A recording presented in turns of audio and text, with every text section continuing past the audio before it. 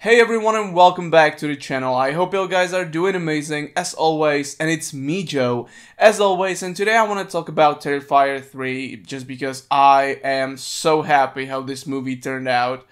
It's an amazing movie. It's an amazing horror movie. It's fun, it's gory, it's bloody, it has it all.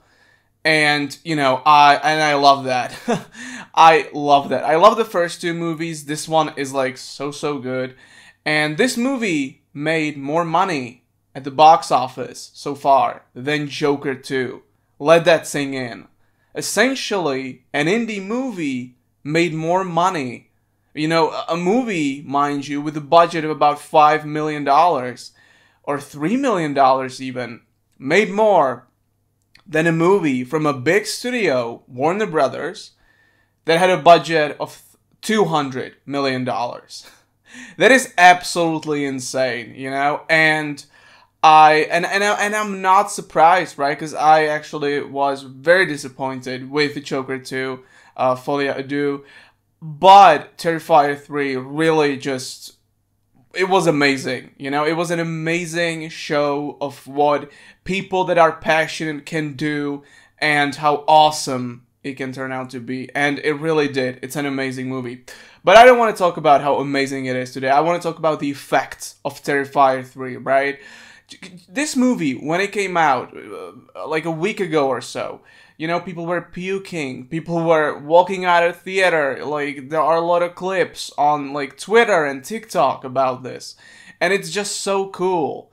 And, you know, theaters had some, like, letters, uh, you know, before uh, you walked into the movie.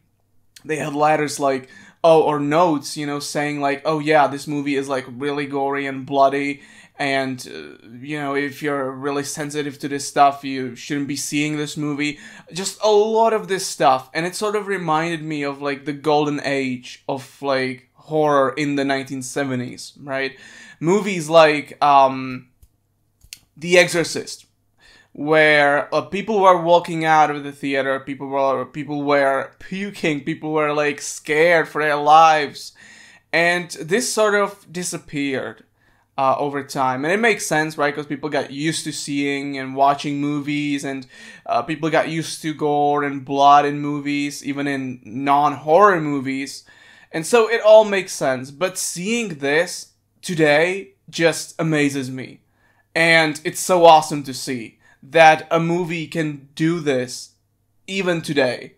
And it's wonderful. David Howard Thornton is amazing as Art the Clown. And I really, he said that he wants to do something in a big Hollywood movie. And I really wish him all the best here just because I really loved his performance as Art the Clown in this movie, as well, obviously, uh, the previous two movies.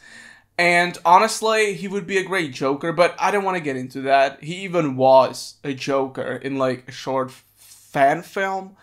Um, but yeah, I don't know. It, it's just awesome to see a horror movie succeed, and on this level. And I also talked about this multiple times uh, here on the show, but I sort of am really happy about the fact that Terrifier is not like made by big studios. You know, that sort of really makes me happy that Terrifier is this small little franchise that made it. And that's just so awesome.